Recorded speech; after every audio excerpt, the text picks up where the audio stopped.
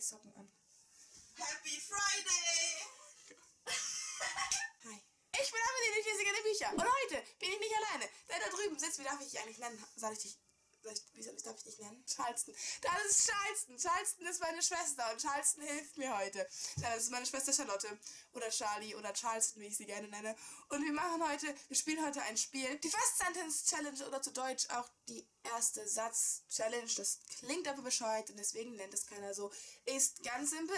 Meine Schwester sucht sich sechs bis sieben Bücher raus und liest mir dann den ersten Satz vor und ich muss raten, um welches Buch es sich handelt. Die Regeln sind ganz einfach. Wenn ich das Buch bei dem ersten Satz errate, kriege ich drei Punkte. Wenn ich den zweiten Satz brauche, kriege ich zwei Punkte. Wenn ich den dritten Satz brauche, kriege ich einen Punkt. Weil ich es an diesem Punkt immer noch nicht erraten habe, dann liest Charlie mir den letzten Satz vor, in der Hoffnung, dass ich das Buch noch nicht gelesen habe und mir es deswegen nicht gespoilert wird. Dann kriege ich keinen Punkt mehr, aber ich habe noch eine Chance, meine Ehre zu retten. Und das mit den Punkten ist völlig unnötig, weil sie im Endeffekt sowieso keiner erzählt. Habe ich was vergessen? Ach so, Namen wird Charlie mit XY ersetzen, beziehungsweise nicht nur Namen, sondern auch so bekannte Städte oder irgendwas, was das Buch von den Eigennamen weggeben könnte. Daran darfst du bitte denken. Schön, das war ein Nicken. Ach, und Charlie hat ein Verbot von diesem Buch hier. Weil ich will nicht, dass sie mir spoilert. Ich hab, da bin ich noch nicht. Und wenn sie mir das spoilert, dann gibt's richtig Stress.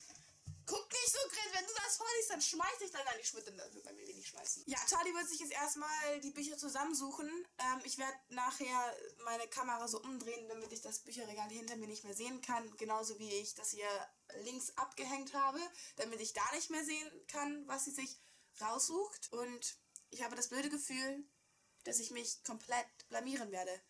Let's get into it! Ich hör das durch, Alter.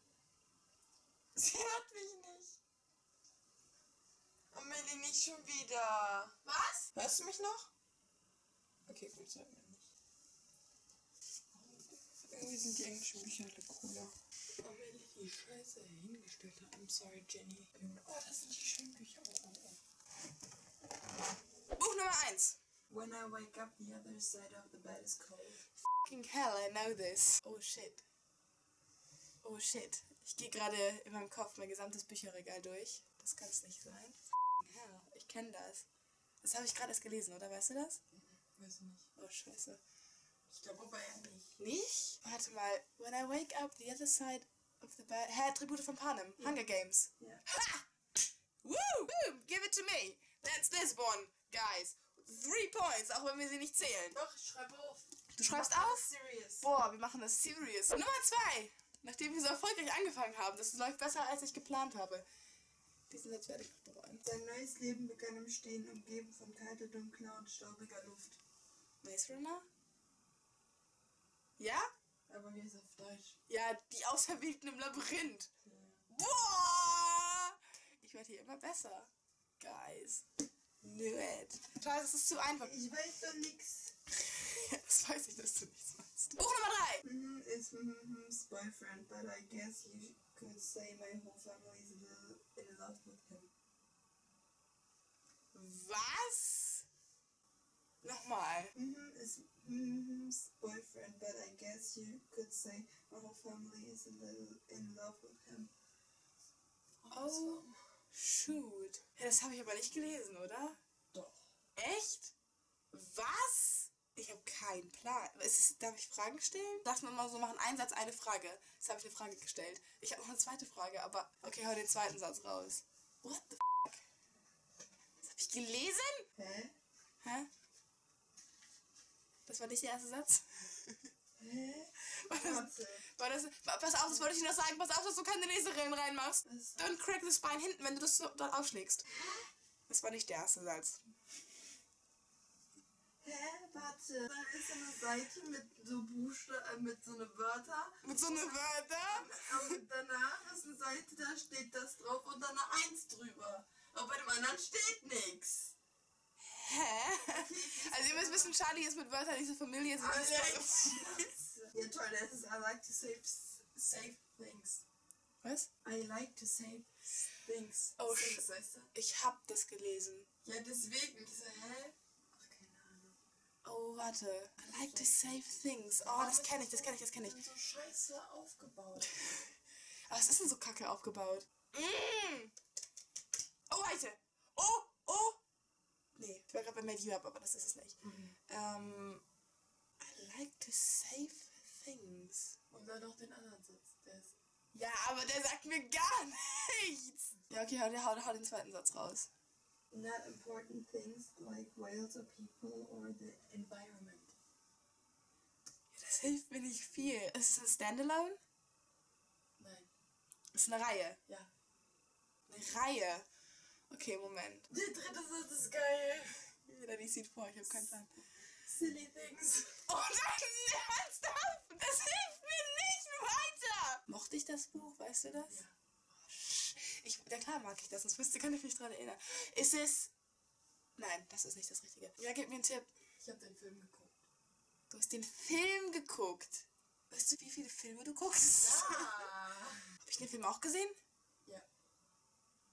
Das wird peinlich, ich wusste es. Eine Reihe, die verfilmt wurde? Das, ist- das ist doch scheiße. Okay, Moment. Es ist nicht To All the Boys, oder? Es ist To All the Boys I You For? Echt jetzt? Oh, das habe ich nicht gelesen. Hast du nicht? Nein, das habe ich ja nicht gelesen. Aber ich habe den Anfang, glaube ich, habe angefangen zu lesen. Aber du hast den Film geguckt. Ich habe den Film geschaut. Ja. Buch Nummer 4. Jetzt würde ich eins, was ich erkenne. Nach dem absoluten Desaster. I traced the outline of my sister's drawing small but from Five feet apart. ja. Woo! I knew that because she talks about the drawing that is on the front cover as well, that her sister did for her, and it's really sweet and very heartbreaking, and I love this book, so go read it. Cole Sprouse. Ich meine, das sind locker vier Punkte dafür, dass ich gesagt habe, während der Satz noch nicht mehr zu Ende war. Well done, me. Mal gucken, ob du irgendwo Lesehöhlen reingemacht hast. Okay, gut. Next one. Es gibt bestimmte Orte, wo wir uns rumtreiben. Willst du mich komplett verarschen? Ich habe instant eine Ahnung, aber das ist locker falsch. Das habe ich vor Jahren gelesen. Ich weiß nicht mehr, wie das anfängt. Nein, das stimmt nicht. Oder? hab, vor allem, weil ich dich kenne. Sag's doch einfach. Numbers? Ja? aber das erste geht noch. Das erste war noch so, ja genau, und dann, dann labert sie doch darum, wie die Spinne gleich am Anfang kennenlernt, oder? Das erste war ja auch noch okay, aber ich war instantly so deutsch, das war ein deutsches halt, und dann war ich so, ich musste sofort an den Ort unter der Brücke denken, weil der erste war ja noch nicht ganz so schlimm, der erste war ja noch okay, und ich kenne dich. Mir war fast klar, dass du Numbers nimmst. Also. Easy. Okay, jetzt a lot of pressure. Ein Sextape. Nein, keine Ahnung, habe ich es gelesen? Ich weiß nicht. Äh, One of Us Lying? Echt jetzt? Wow, das, hab ich, das ist ein halbes Jahr her, dass ich es gelesen habe. Bitch. Gut. Dann. Schneeste. Kann freundlich sein. Lies mal den ersten Satz vor, bitte. Nein. Doch. There is one mirror in my house. Divergent. Ja. Oh, wusste ich. Warum wissen wir das? Because of, wie heißen sie nochmal? Abnegation. Es ist Abnegation. Ich meine, es ist Abnegation. Anyway, we all know this. There's only one mirror. There's only one girl in the book universe who has just one mirror in their house. If they have a house. Some bookish girls haven't got even even haven't got a house, which is very sad. Next one. I've decided to look myself away. I've decided to To lock lock myself away. Schuss ins Blaue. Good is gone. Oh. Now she's back. It is the only way I can keep myself safe. safe. Oh. Doch, Moment. Ist es ein Hardcover? Ja. Okay, okay, Hardcover, das krieg ich hin, das krieg ich hin. Das heißt, das oben, ich muss einmal ganz kurz durchgehen, welche ich da stehen habe. Catwoman. Ja, das war mir klar, dass das das nicht ist. Was steht da oben noch? Äh, Girls of Paper and Fire, aber das ist es auch nicht. Ähm, now that she's back. Backstreet's back. Alright. Scheiße, ich kenne alle Hardcover, die da verdammt nochmal stehen. Welches, welches fehlt denn noch? Mist, nächster Satz. I'll tell them I am ill or something. I tell them I am ill or something. Ich hab das angefangen zu lesen. What the heck? Dann steht es zwischen Skyward und. Steht, ist es das erste? Neben, neben Radar? Wo steht es denn dann? Steht nicht. Es liegt, es ist um. Siehst du, ich hab's gewusst. Fucking hell, es ist Thornhill. Ja. Weißt Mann, das- wo ich es ausgewählt habe? Nein. Weil Thornhill das Haus von Cheryl Blossom bei Riverdale heißt. Und ich wollte noch als Tipp sagen, der erste Satz steht auf Seite 30. Das ist nicht der erste Satz. Der erste Satz steht auf Seite 1. Hast du gelesen? Ja, ich hab's gelesen. Ich Ich, hab's das ziemlich gefeiert. Ich weiß, dass die Meinungen zu dem Buch ziemlich gespalten sind. Aber ich fand's extrem nice. Autsch. Nächstes. Ja, ich weiß, ich krieg keinen Punkt. Mäh. Mäh. Mäh. Next one. Zwei Bücher. Nur zwei. Ja. Ich weiß nicht, ob du das gelesen hast oder nicht.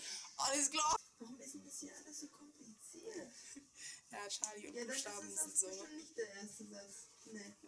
Okay. I've been locked up for 265 uh, four days. Shadow Me. Ja. Ja. Gerade erst gelesen, das wusste ich. Okay, hast du es gelesen? Boom. Ja, ich hab's gelesen. Ich hab's Ich hab's, ich hab's, ich hab's. Wegen des schönen Auges? Du hast mir gesagt, du findest die Cover nicht so schön. Ich bin zu dir hingegangen und hab gesagt, guck dir die Cover an, wie unglaublich schön ich die finde. Meintest du, ja, hm, ist ganz okay. Ja, ich habe gesagt, die Augen sind schön. Du bist so ein Scheiß, du bist eine Heuchlerin. Aber das weiß ich, weil ich das ungefähr dreimal im Buchladen angefangen habe. Und war immer so, liest es jetzt, liest es nicht, weil es eine Reihe ist und eigentlich muss, hast du so viele andere Bücher und deswegen merkt man sich dann sowas. Slay Bitch, das sind drei Punkte, wenn du aufschreibst, musst du auch schon aufschreiben. Last but not least, das kannst du so nicht sagen, vielleicht. Das ist auch das Schlechteste. Es war früher Morgen. Es war früher Morgen, es war Montagmorgen, ich brauche Kaffee, ich habe keine Hose an, was für ein Scheiß. Es war früher Morgen? Euphorie, aber es ist ein deutsches. Ich habe ich hab nicht, ich hab nicht so viele Deutschbücher. Habt ihr das gelesen? Ich weiß es nicht. Ähm, Ich glaube nicht. es ist früher Morgen, das habe ich nicht gelesen. Aber ich, oh warte. Nee, das ist es nicht. Nächster Satz. Die Straßen waren noch menschenleer. Also wenn es früher Morgen ist, dann gehe ich da mal normalerweise von aus, dass die Straßen leer sind. Okay, letzter Satz. Letzter Satz? Letz, nein, also dritter Satz, nicht letzter Satz. Spoiler mir Okay, nicht. da kommen aber richtig viele Namen vor, aber ich glaube sogar welche Namen von dieser großen Liebe.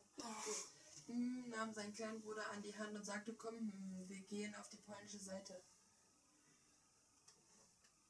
Was ist. Äh, du- äh, du kleiner Scheißer. Du kleiner Scheißer. Lauf, Junge, lauf. Du kleiner Scheißer. Das ist das einzige Buch. Das einzige Buch, was sie gelesen hat. Was sie in ihrem ganzen Leben alleine komplett gelesen. Du hast es nicht gelesen? Doch, aber es ist nicht das einzige. Doch, es ist das einzige. Nein. Geronimo Stilton zählt nicht. Nein, es ist das einzige Buch, was sie gelesen hat.